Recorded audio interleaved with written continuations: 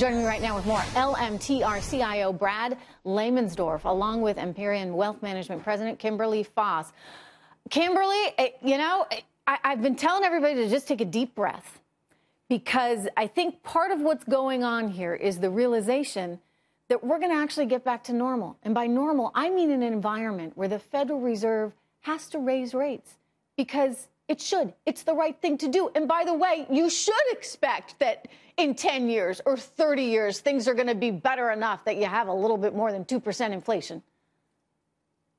Heck yeah, Trish. I'm right there with you. And you remember back a year and a half ago when the feds did declare that they wanted to get back to normalization by the year 2019. So that would mean about 3%, you know, so we've got a ways to go. So yeah, I think the volatility yesterday was spooked and Friday was spooked by the Fed saying, hey, we may raise this three times or more. And that causes this volatility in addition to high frequency trading, algorithms, the whole mm-hmm. thing. But bottom line is the fundamentals, like you said, of this market are very, very strong.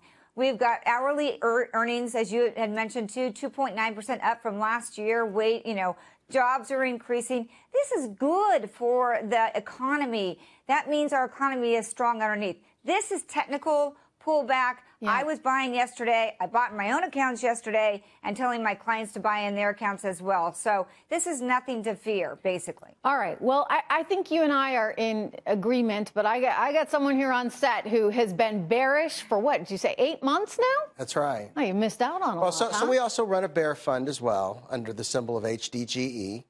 And so, you know, we. we so you, are paid to be bearish. You have no choice. Well, you well, have no, no, to be so, bearish. So, so, in all fairness, I just started a SQZZ ETF, which is all long. All we focus on are highly shorted stocks. Okay. So that's not totally fair to because I'm running a long and a short fund. All right. Why but, are you? So, what, what's motivating you? How do you get out and sell your? I mean, other than just being a hedge against a market that keeps going up, uh, do you really believe we're heading for far lower ground?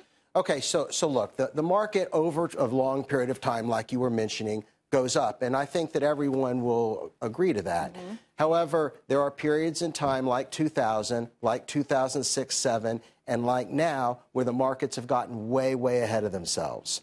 We think that every, and we know that uh, cash uh, in mutual fund, uh, managed. Uh, yeah, I mean, I, I, hate to throw 2007 into the mix. I'll just say that because, you know, that was a credit crisis and it was a completely different animal than anything that we're seeing right now. So I don't want to make that comparison, but I got you on the year 2000. So, so when you even, uh, and, and to go to, back to your point, mm-hmm. the economy's strong, correct? Right. I agree with you. Mm-hmm. Although in the crash of 87, we dropped over 20% in a day. Mm-hmm. And there was no recession thereafter either. Right. So so you can have a correction in the market without destroying the economy. Right. So my point is, is that when you see the stock market trading at the same price to sales that it was in 2000, Mm-hmm. Buckle up. You better be ready for a minimum of some consolidation. Okay, walk us through price to sales, and then I want to get Kimberly back in. But you're talking about price to sales ratio.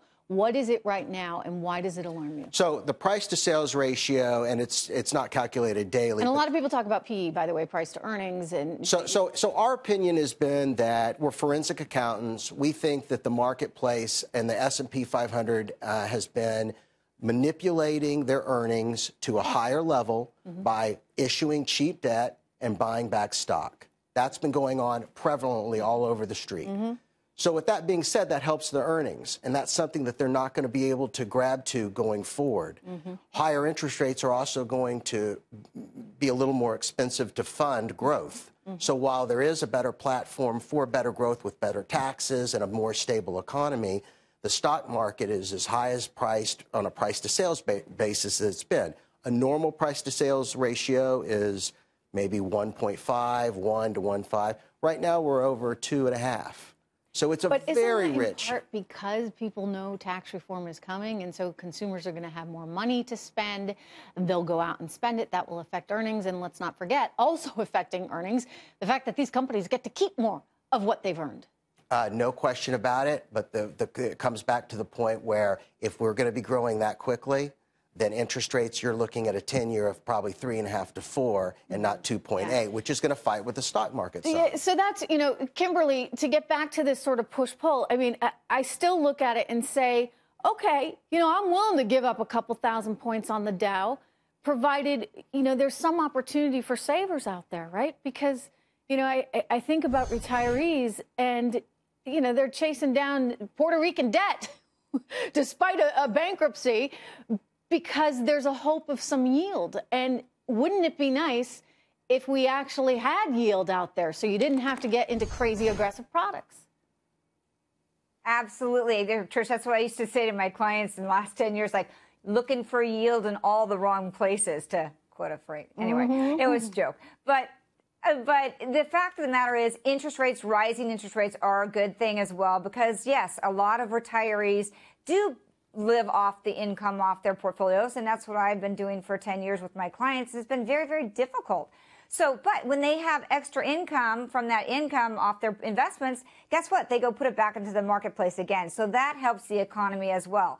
Again, just like you were saying too, the tax reform, this is repatriation. I mean, Apple's bringing jobs back, bringing money back here.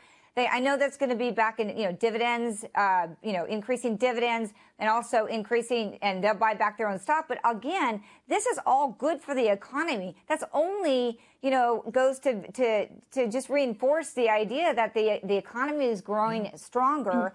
Earnings of companies are growing stronger. That's just more money in people's pockets that, you know, the pie is not finite. The pie is growing. This is what America is about is growing our wealth. The stock market is the greatest wealth creation tool in the universe. And people from the waitress to Warren Buffett have access to that. And that's what makes people more richer, better, and have a better life. Brad and Kimberly, thank you so much. Good thank to you. see you both.